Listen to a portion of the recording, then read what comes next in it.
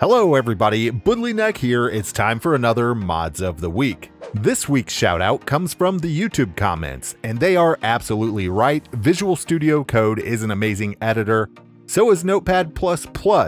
You really can't go wrong with any of the three. And I want to say thank you, Hesel, for watching, commenting, and subscribing.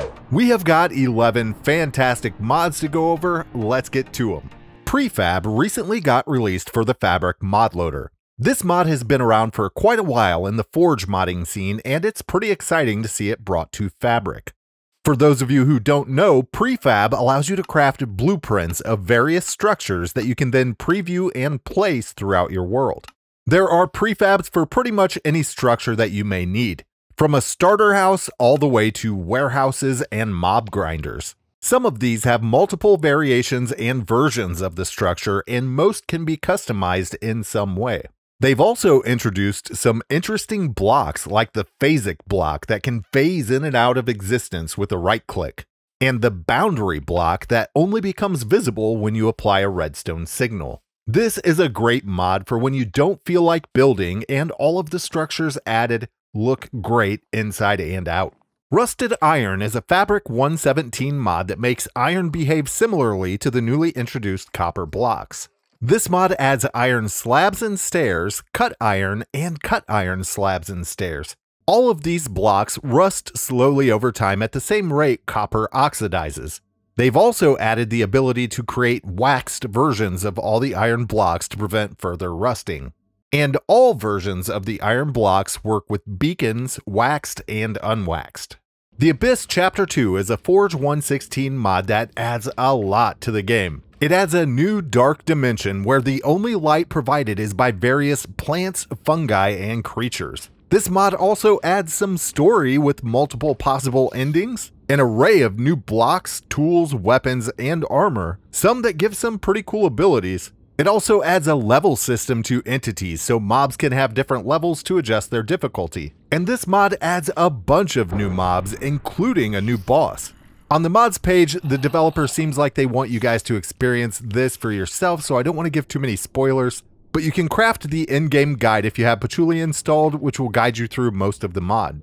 Macaw's Paintings is a Forge 116 mod that currently adds 20 new paintings. The art was made by Peachy, and as with all of Macaw's mods, everything looks fantastic and they've done a really good job of keeping a Minecraft feel. And if 20 new paintings isn't enough for you, according to the mods page, you can expect to get some updates. The only downside to adding a bunch of new paintings to Minecraft is that it makes it a lot harder to get the painting that you want. Which brings us to our next mod, Cycle Paintings. This is a Forge mod available in pretty much every version since 112. This mod allows you to cycle through all paintings of the same size by right-clicking a placed painting with another painting in your hand. This is such a nice way to get the painting that you want. I think we've all had bad experiences where you keep placing and replacing paintings and it takes forever to get to the one that you want.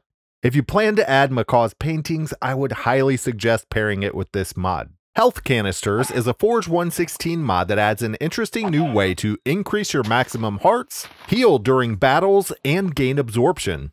With this mod installed, whenever you kill a mob, it has a chance of dropping a heart or a golden heart. A golden heart will only drop when you have full HP, and when you pick it up, it adds 2 minutes of absorption, and these can be stacked. A regular heart will only drop when you're missing HP and will automatically be consumed to replace any missing health. This means to make a heart canister, you need to kill mobs while you're missing HP, then fill up your health before you pick it up and make sure you craft the canister or get rid of the heart before you take any more damage. When you use a heart canister, it permanently increases your max health by one heart. All of these values are just the defaults though. This mod is very highly configurable. You can adjust nearly every single feature in the config file. And since I'm showing the config file, I always get a ton of questions down in the comments. I use Atom, A-T-O-M. It's a free text editor to edit my config files. I have a link to it with all of the packages that I use to make it easier to edit Minecraft config files and even make data packs in the FAQ section on my Discord.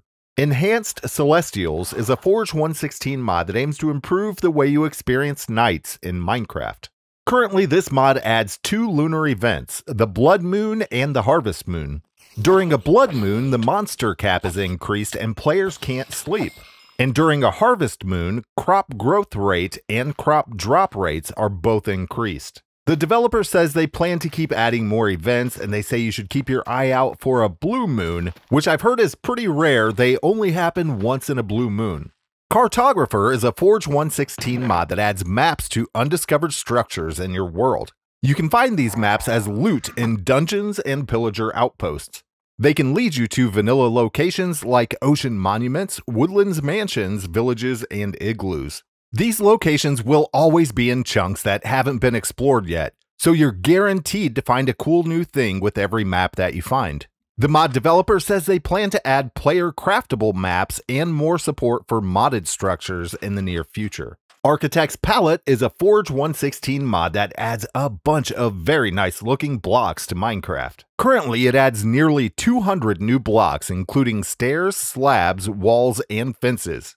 Some of the blocks are light sources, and it adds some redstone cage lanterns that would look amazing for some industrial builds. It also adds a new tree with all the wood stuff you'd expect to be able to get from it. Some of the blocks added by this mod have some interesting behaviors, like the sunstone and moonstone that light up depending on the time of day. And everything added by this mod is survival friendly, meaning that it has some way that you can get it in a survival game.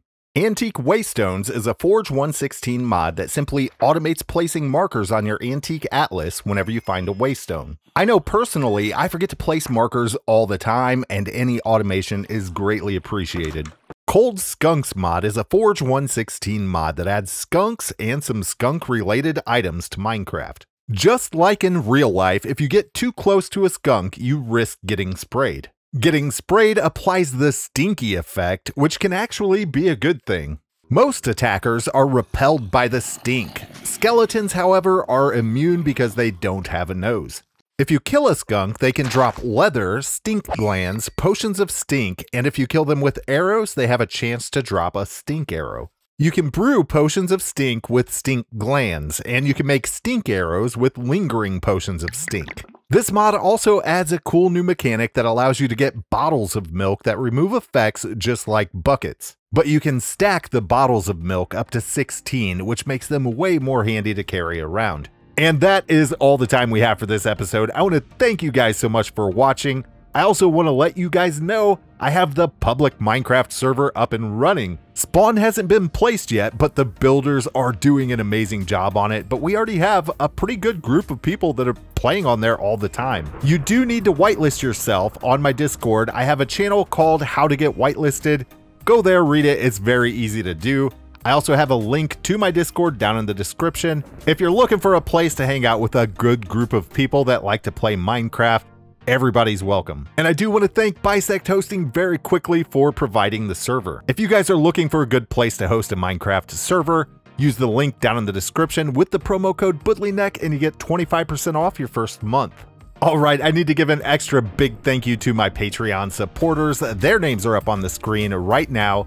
Thank you guys so much, and I want to thank each and every one of you for watching and for sticking around to the very end. I hope you enjoyed this episode. If you did, you know what to do. Hit that like button down below. Subscribe if you haven't subscribed yet.